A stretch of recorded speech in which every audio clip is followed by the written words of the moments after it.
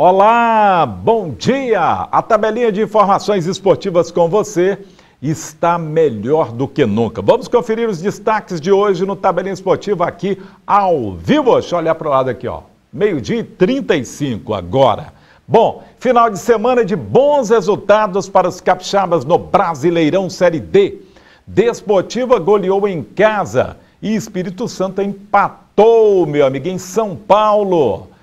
Preparação física e garotos da base são prioridades do Linhares no início dos treinos para a Copa Espírito Santo. Hoje a tabelinha está didática. Bom, nós vamos falar daqui a pouco sobre um assunto de um representante da Girassol que vem aqui ainda falar sobre essa questão de como fazer fisioterapia em casa, como você usar materiais que podem facilitar a sua vida, no caso de acidente ou quando há uma pessoa idosa em casa para locomoção. É assunto para a semana que vem, mas você tem uma prévia por aqui. Bom, direto então ao assunto com o Linhares Futebol Clube.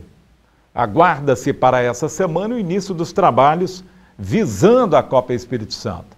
O presidente do Linhares, Adalto Menegucci, disse que ainda espera resposta de renovação com parceiros e que, por enquanto, a base do time vai ser formada por atletas dos juniores que vão ser entregues a um preparador físico de prenome Venâncio. A estreia do Linhares na Copa Espírito Santo está prevista para o dia 23 de julho contra o Bicho Papão Real Noroeste. Ele sempre tem boas participações na Copa Espírito Santo. E por falar em Linhares, um jogador que foi revelação do clube, tendo passado antes pela escolinha do Isaias Gama, o Iago, está passando por um drama. Ele foi negociado com um time da Turquia e teria assinado o contrato de seis meses. Disputou quatro partidas e acabou com um problema no joelho. Aí não teria tido a assistência necessária do seu clube lá na Turquia. Foi submetido a uma cirurgia. Teriam também descoberto até uma, como disse o Isaías, uma lasca de pau no seu joelho. E de lá para cá, a recuperação tem sido difícil, muito difícil. Né? O Iago teria emagrecido bastante, a perna ficou atrofiada e ele continua precisando de apoio apoio de solidariedade, apoio é, financeiro, né? Esse jogador continua precisando de apoio. Para fazer o quê? Para se sustentar né, em casa. Porque sem o Dindim não dá. Ele não está jogando futebol. E ele não teve o apoio né, é, do clube é, lá da Turquia para que pudesse ter uma recuperação devidamente assistida, né? Agora, sobre esse caso aí, é interessante que ele foi intermediado, essa negociação foi pelo presidente do Linhares Futebol Clube, que é uma empresa, o Adalto. Então, a, a empresa Linhares Futebol Clube tem que tomar alguma providência em relação a esse clube da Turquia.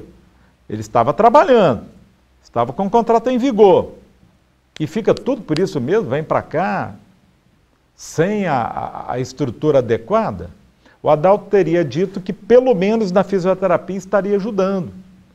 Mas é muito pouco. Né? É muito pouco. Se gastou dinheiro, tem que saber como, porque o jogador passa por dificuldades. Daí essa mobilização de amigos, de parceiros lá do bairro Aviso para ajudá-lo. Esta competição, esse torneio, foi adiado para uma data ainda a ser definida, um torneio beneficente que seria realizado no campo da Nacional do Aviso para ajudar é, o Iago. O Isaías disse que agora deve ter premiação em dinheiro, sorteio de brindes, para atrair mais equipes participantes da competição, para dar um, um, um bom dinheiro aí, para dar essa força para o jogador Iago, para atender suas necessidades básicas, já que ele é casado, né? Foi programado esse torneio aí, inclusive para o último final de semana, lá no aviso. Mas adiado, conforme eu já disse, para uma data a ser definida. Segundo Isaías Gama, que está ajudando na organização, O objetivo é conseguir né, a participação de mais equipes, conseguir prêmios para sorteio e dinheiro na premiação para o evento ficar mais atrativo. Nós ficamos assustados com as informações que recebemos sobre as condições do Iago e vamos conferir. Quem sabe a gente possa trazê-lo aqui no Tabelinha Esportiva, possa ir até a sua casa para você saber mais informações aí. Solidariedade é fundamental. Bom, gols que contam, que marcam, bons resultados para os capixabas no Brasileirão da Série D no último final de semana. A Desportiva goleou o Goianésia por 4 a 1 no estádio em Gerararipe e o Espírito Santo empatou em 0 a 0 com o Audax, atual vice-campeão paulista da primeira divisão em São Paulo. Confira aí na tela então estes gols, essa história. Desportivo 1 a 0 no Goianésia. Tinha um cara lá com reflexo na câmera lá, não ficou muito legal, mas o Desportivo faz 1 a 0 com Acerola. Saiu da base do Fluminense, teve uns problemas lá extracampo e está marcando seus golzinhos aqui na Desportivo. Você foi o primeiro lá no, no Engenheiro Mas o Goianese empata, rapaz. Pênalti do goleiro Felipe. E aí, olha o Kelminho aí, ó. Ele vai lá, e marca. Desportiva na frente de novo. Jogada bem trabalhada ali, né? De novo ele, ó, a Cerola. Olha que drible, rapaz. Porrada, hein? Que pancada, hein? 2 a 1 um. A Desportiva saiu do sufoco, porque isso daí foi nos descontos do, do, do primeiro para o segundo tempo, né? É, olha, ele dá um drible com a perna direita, bate forte, rapaz no canto do goleiro, mas foi tão rápido. Aí de novo, né, a Desportiva vai marcar mais um gol na jogada do Ivan. Aí ele coloca a bola debaixo da camisa, porque sua esposa está grávida, ele prometeu que comemoraria, comemoraria assim. A esposa dele vive cobrando do Ivan que faça gols, mas só que o Ivan é um homem de contenção, né?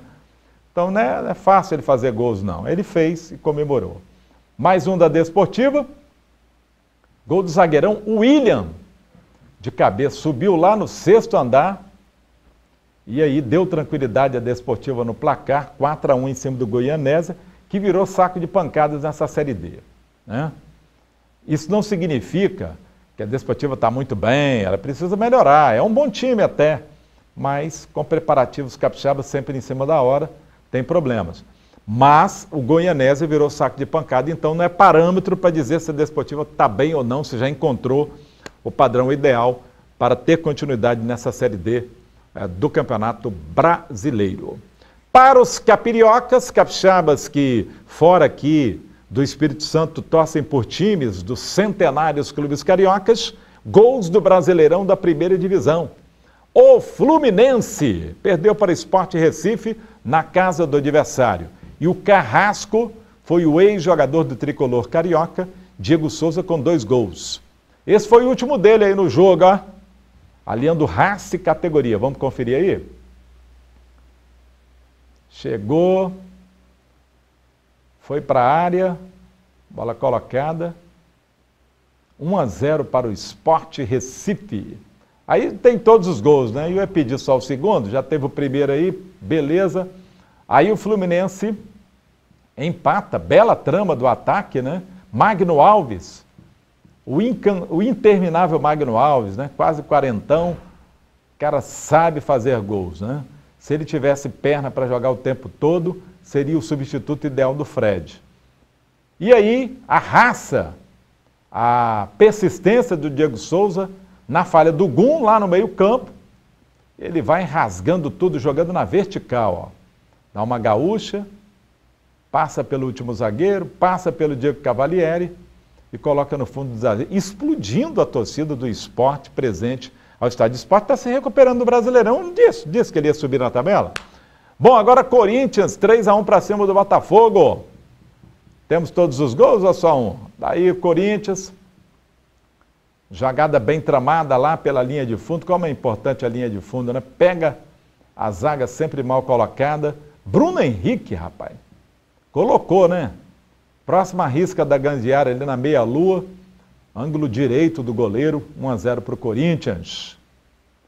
Aí o Fogão empata com Leandrinho. Fale do goleirão Cássio aí, hein? Tem 50 metros de altura. Olha lá, ó. Ah, que que é isso, rapaz? tava com a mão furada? Aí o Botafogo empata. Mas o Corinthians é melhor, jogando em casa, no Itaquerão. Bola defensável para o goleiro do Botafogo, né? Ó, defensável. Mas tudo bem. 2 a 1 um para o Corinthians, aí mais um gol do Corinthians. Mais uma vez Bruno Henrique. Dominou no peitoral, deixou cair no chão. Ele não pegou como queria, não. Mas saiu fazendo curva direto para o ângulo. E aí, 3 a 1 para o Corinthians. É, São Paulo e Flamengo jogaram no campo do Flamengo. Qual é? Lá em Brasília é Flamengo, né? Quando o Vasco joga lá, tem a maior parte da torcida, Fluminense, Botafogo, Flamengo, os paulistas, principalmente Corinthians, tem uma grande torcida no maior estado, que é a Grande São Paulo. Mas quando chega em outros estados, você nota que a torcida carioca é bem maior. Aqui no Espírito Santo você percebe isso, né? E aí o São Paulo lá em Brasília, com maioria de torcedores rubro-negros, faz 1 a 0. Caleri ele é artilheiro nato, marca aos 11. Recebeu, se aproximou, entrou na área e pimba! Na gorduchinha, como diria o saudoso Osmar Santos. Né? O, grande Osmar Santos. Tá ali, ó. Pimba! Na gorduchinha. Aí, o empate do Flamengo. Gol contra! O goleiro já rebateu em cima do Rodrigo Caio. O Rodrigo Caio não tinha como sair da bola, né, meu amigo? O goleiro aí tem que rebater lateralmente. Ele rebateu para trás.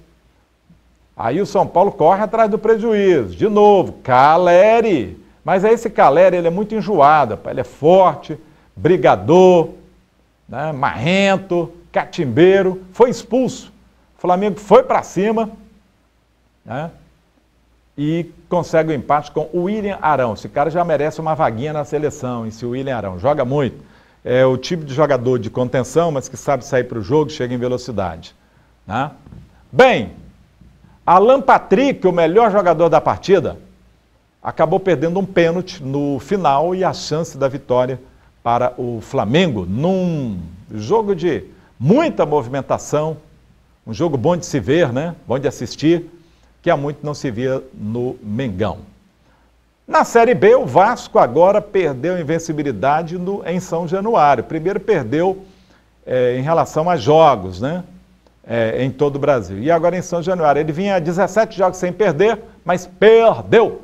Quem ouve o resultado agora, 2 a 0, não imagina que o Vascão jogou os 90 minutos em cima do adversário, mas não aproveitou as chances e errava o último passe. Né? Aí o Paysandu jogou por uma bolinha e conseguiu duas, dois gols, resultado de duas falhas da zaga, que ficou né, assistindo, né, que ficou mal posicionada, né? Vamos em frente, que ficou aí desprotegida. Mas é, na Série B, para os grandes é assim, né? O Vasco perdeu só que o Atlético Goianiense facilitou a vida do Vasco. Também perdeu, não venceu. E o Vasco continua, continua líder ainda do, do, do campeonato, mesmo tendo perdido já duas partidas seguidas. Né? Bem, a tabela de classificação dos capixabas na Série D e das primeira e segunda divisões uh, desta semana, você confere no Sim Esportes, dentro do, do do Sim Notícias, né? E também no Cultura nos Esportes, lá na Rádio Cultura, emissora da Rede Sim. Tá legal?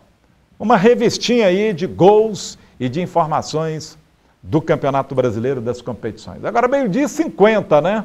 Meio-dia e 50. Gente, daqui a pouco é, nós vamos dar uma geral em assuntos importantes aqui para o nosso esporte. Mas dá uma paradinha aí na tela, Jadel.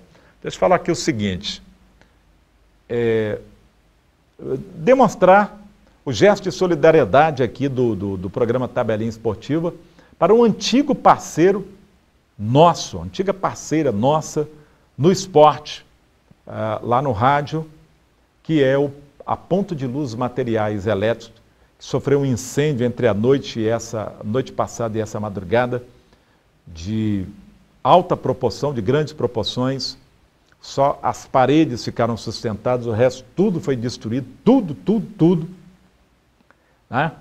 E nosso, nossos sentimentos aí para Ricardo Lopes, proprietário, Carmen, sócia, cunhada e sócia, Carla, da gerência e todos, todos os integrantes da demais equipe, da, da, que integram a equipe lá do Pão de Luz. Você está vendo o incêndio aí, ó?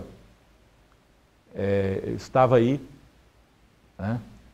Que coisa, gente. Me avisaram, corri para lá para esse gesto de solidariedade. Essa loja aí, nós trabalhando na, na mídia, fomos os primeiros a divulgar as imagens dessa, dessa loja aí, a inauguração dela. Eu fui mestre de cerimônia da inauguração dessa loja. E, então nós ficamos sentindo. É um parceiro nosso no esporte, aí sempre vale, é, prestigiou lá o Cultura nos Esportes, está no Ronda da Cidade. É ponto de luz, materiais elétricos. Olha o fumacê que subiu.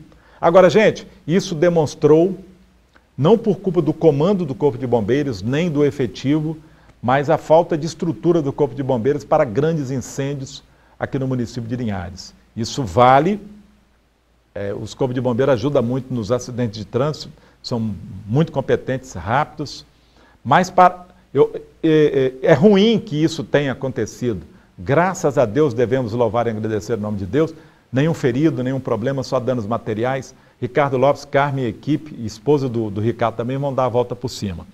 Mas imagine, Netinho aí, né, Oséias que esteve no, no, no Ronda da TV, é, agora há pouco, se isso houvesse ocorrido em um edifício de diversos andares, viu, Jardel? Se tivesse ocorrido em um edifício de diversos andares, com a estrutura pequena que o Corpo de Bombeiros tem para esse tipo de situação, faltou água, tudo. Imagine que tragédia. Então, que a partir desse alerta que ocorreu lá no Pão de Luz, uma loja preparada, é, tudo com todo total segurança, mas que ocorreu isso, que seja um alerta para a situação dos edifícios aqui e para que toda a comunidade, toda a Grande Linhares, batalhe para que tenhamos melhor estrutura, mais viatura, mais condições, mais água, mais, mais tudo para o Corpo de Bombeiros trabalhar. Não é culpa do comando nem do efetivo, é da estrutura, assim como a PM também sofre, a Polícia Militar e a, a Polícia Civil, nossa segurança na estrutura. Gente, daqui a pouco o assunto tem a ver com a recuperação de atletas e tem muito mais aqui no nosso esporte para você.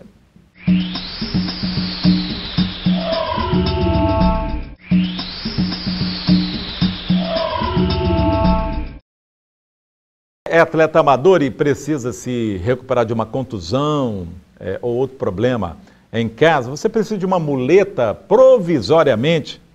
E você que não é atleta, que é atleta de final de semana, ou que sofreu um acidente, ou que precisa se locomover melhor em casa, estando sem as condições adequadas, está difícil. O pessoal da Girassol Especialidades facilita as coisas para você por isso, nós é, vamos ter um representante aqui da Geração Especialidades para falar sobre o assunto conosco na terça-feira da semana que vem. Né? Houve um imprevisto, ele estaria aqui hoje, né, nesse segundo bloco, mas houve uma imprevista, é, um imprevisto e o representante da Geração vai estar conosco. Em breve teremos também um fisioterapeuta para falar sobre esse assunto. Outro detalhe, o torneio beneficente ah, Girassol fica ali no centro, próximo à prefeitura do centro. Jogador, quem quiser ajudar o jogador Iago, ele teve que ser submetido a uma cirurgia do joelho depois de ter voltado da Turquia, eu já falei, né? Onde não teria recebido a assistência necessária. O torneio foi adiado, tá legal? Então tá bom. É, a informação foi do Isaias Gama, da organização. Agora, vamos lá, o que, que, tem agora? O que, que tem aí agora? As últimas da luta dos associados do antigo Linhares Esporte Clube para recuperar patrimônio que adquiriram por intermédio de títulos. Conforme as fotos que você vê aí na tela, a participação dos associados na reunião da quarta-feira da semana passada foi maciça. Você vê ali o Kiko logo à frente do Conselho Deliberativo, está ali, né? Marcelo Calimã, presidente, todo mundo ali, ó. É, o salão da Associação de Moradores do Bairro, você viu aí que ficou lotado lá no Lagoa do Meio, né? Ficou lotado. Você vê aí também é, associados que receberam os novos títulos, né?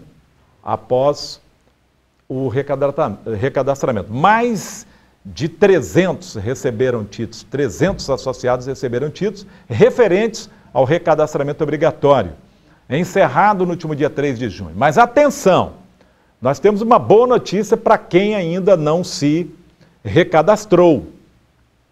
Haverá uh, um adiamento, conforme né, previa o próprio estatuto aprovado no ano passado, o prazo de recadastramento foi adiado para mais algumas semanas. E funciona assim.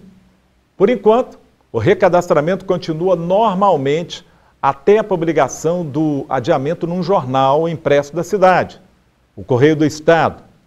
A partir da publicação, os associados que não se recadastraram vão ganhar um prazo de mais 15 dias. Né? Mas atenção, depois deste novo adiamento, quem não fizer o recadastramento vai ter o seu título cancelado definitivamente. Definitivamente.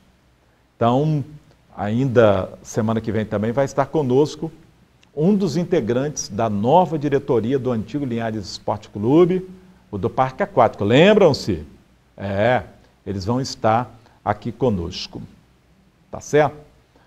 E para terminar, gente, por falar em solidariedade ao jogador Iago, de repente, duas lojas maçônicas aqui da cidade, que são da grande loja, é, perceberam que é urgente alguma ajuda para aplacar o frio de muitas pessoas e também a fome. E então já está sendo colocada em prática a campanha Maçonaria Solidária. Você pode doar alimentos não perecíveis e agasalhos dos supermercados Casa Grande, aqui da cidade, no Interlagos, no BNH, no Araçá, no Hiper, tá bom? Você pode fazer essa doação lá, vai ter uma equipe de demolês jovens que são de instituições paramaçônicas e também de meninas do arco-íris, de 12 a 20 anos, vão lá estar com o microfone para receber doações. E, e o ponto fixo é na São Rafael Materiais para Construção, pertinho ali do ponto de luz, na rua Rufino de Carvalho, no centro da cidade. Tá bom? E a grande caminhada, você pode preparar o seu alimento não perecível, os seus agasalhos, vai ocorrer no dia 2 de setembro, a partir de 8 da manhã, saída da pracinha do bairro da Conceição, com equipes espalhadas por praticamente todos os bairros. Né? E você pode doar também alimentos não perecíveis ou agasalhos que podem ser usados. Ajude a quem precisa, tá bom? Em breve, a Rede Sim vai dar apoio total, vai continuar dando apoio total a esta campanha. Gente, um abraço para vocês. Até semana que vem com mais informações do Linhares Futebol Clube para a Copa Espírito Santo, hein? E também do nosso esporte amador. Um abraço, tchau, tchau.